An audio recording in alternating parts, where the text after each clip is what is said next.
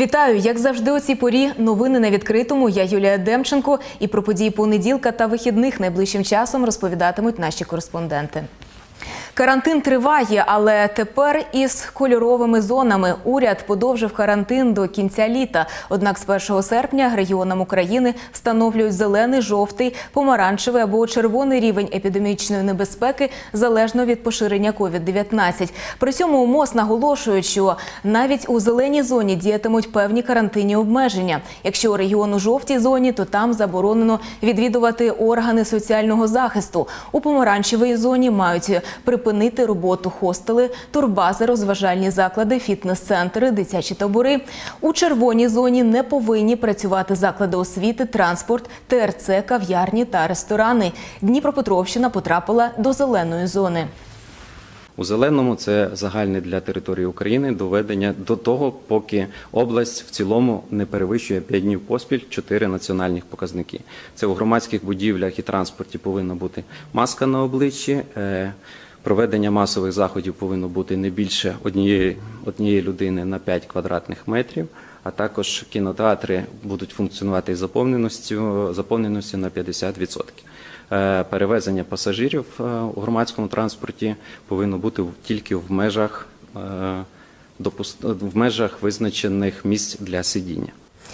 У межах адаптивного карантину з 1 серпня низка дитячих таборів відновить свою роботу. Щоправда, це станеться не у всіх регіонах. Очільник МОЗ Максим Степанов заявив, що відкриття конкретного табору залежить від того, у якій з чотирьох карантинних зон він перебуває. МОЗ дозволить працювати лише тим таборам, які розташовані у зеленій і жовтій зонах. За даними МОЗ, на Дніпропетровщині поки що дозволено працювати тільки табору Едельвейс в Обухівці. Оновлення палат, заміна комунікацій, вікон та дверей. У Кам'янському триває капітальний ремонт медзакладів. Наразі масштабні роботи у міській лікарні номер 9 яка є опорною для лікування хворих на коронавірус. Як змінюється медзаклад, бачила наша Вікторія Вахрушина. У лікарні номер 9 Кам'янського тривають ремонтні роботи. Торік тут вже вдихнули друге життя у відділення неврології та патології вагітних. А наразі черга – відділення хірургії та онкології. Медики кажуть, на ремонт чекали понад 15 років. Сейчас капитальный ремонт, которого отделение требовало уже более 15 лет назад. Онкологическое отделение является региональным для Днепродзержинска и прилежащих районов по э, оказанию онкологической помощи. Здесь проводится химиотерапия, оперативное лечение, все виды лечения, которые сейчас проводятся онкологическим больным. У відділеннях хірургії та онкології планують розділити палати стаціонару та зробити їх більш комфортними. У них лежатимуть не більше чотирьох пацієнтів. У планах також ремонт коридорів, санвузлів, оновлення меблів. Великий ремонт розгорнули і в терапевтичному корпусі. Це його перша трансформація з 1955 року. Здесь будут э, проведены ремонты и стены, пола, заменены окна на металлопластиковые двери. А, Часть палат будет э, уменьшена площадь, то есть они будут разделены для того, чтобы люди чувствовали себя комфортно. Потому что условия пребывания – это, конечно, один из путей к выздоровлению. Наразі терапевтичне відділення дев'ятки розраховане на 70 ліжок. По завершенню ремонтних робіт їхню кількість обіцяють збільшити. Кроме того, в данный момент ведется капитальный ремонт кардиологического отделения нашей 8 городской больницы. Э, ре- Ведется капитальный ремонт одного из отделений нашей 6 городской больницы детской. В ближайшее время мы начнем капитальный ремонт еще одного отделения. И мы выполнили полный капитальный ремонт инфекционного отделения 7 городской больницы. Наша основная задача полностью капитально отремонтировать все отделения во всех больницах нашего города. Усі роботи місцевим коштом. Вікторія Вахрушина, Денис Крикус, Open News, телеканал відкритий.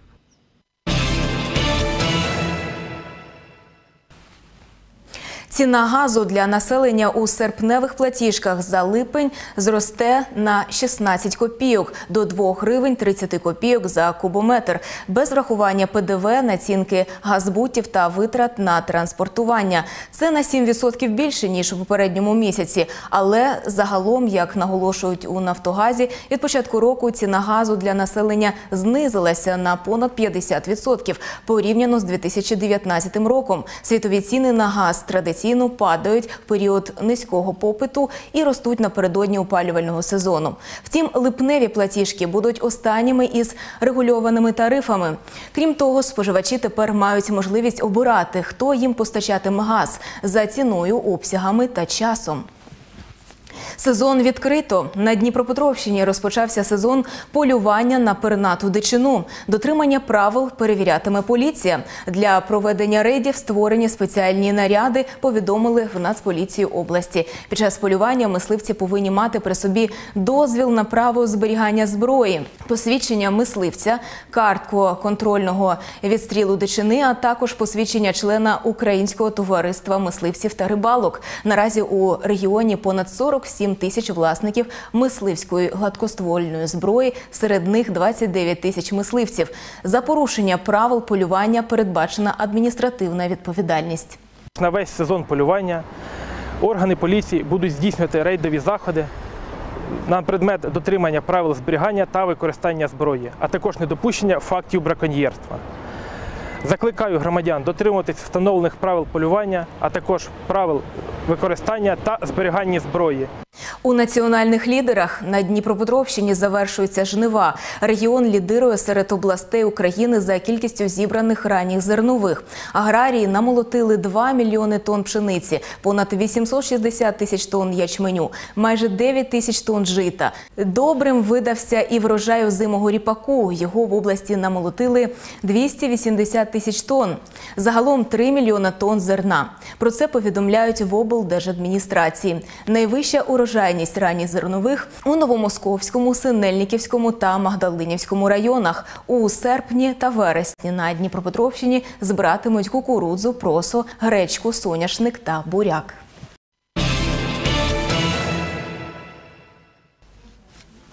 Символічний ключ, візочки для пасажирських вагонів та різноманітні інструменти. Народний музей історії вагонного депо у Дніпрі налічує майже 5 тисяч експонатів. Їх вдалося зібрати за 20 років. Саме стільки років музею.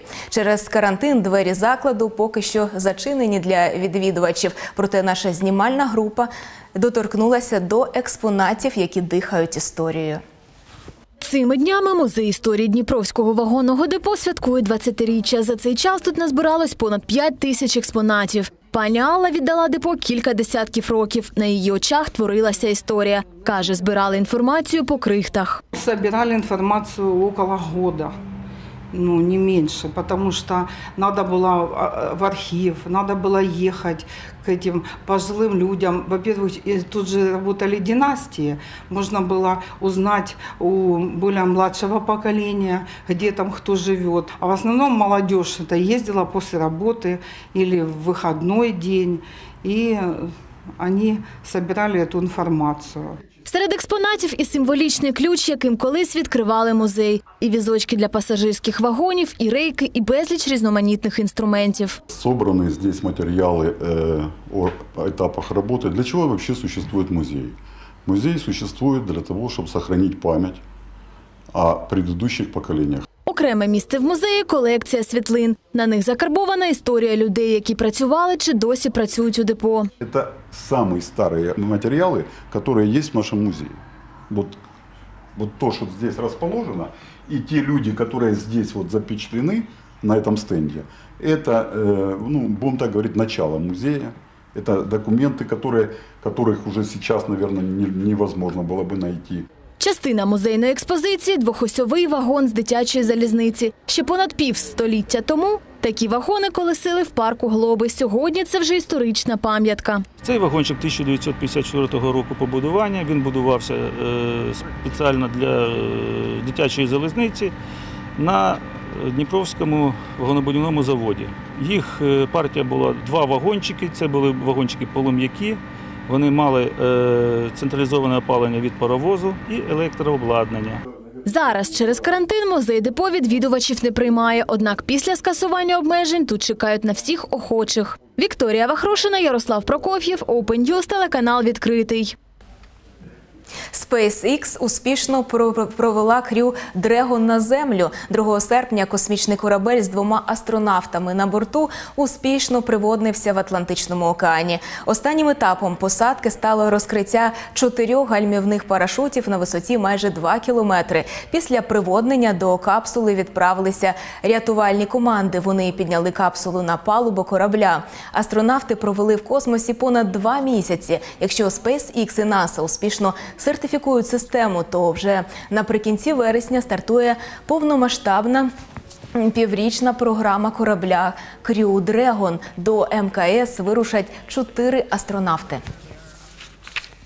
Крім того, НАСА запустила марсохід, який шукатиме докази існування життя на Марсі. За планом, марсохід сяде на поверхню червоної планети 18 лютого 2021 року. Він шукатиме там ознаки існування форм життя, збиратиме зразки породи та ґрунту, а також вивчатиме клімат і погоду. Марсохід доставить на планету зразки матеріалів, з яких НАСА планує робити скафандри для майбутніх висадок на місяць та Марс.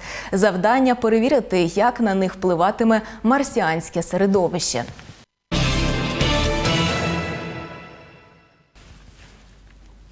У серпні в Дніпрі відновлять змагання із дзюдо. Перший старт після карантинної паузи запланований на 29 серпня. Це буде обласний чемпіонат із дзюдо. На татамі спорткомплексу спеціалізованої дитячо-юнацької спортивної школи Олімпійського резерву вийдуть спортсмени до 23 років. Це буде відбірковий старт перед чемпіонатом України, який має відбутися в Харкові 15-17 вересня.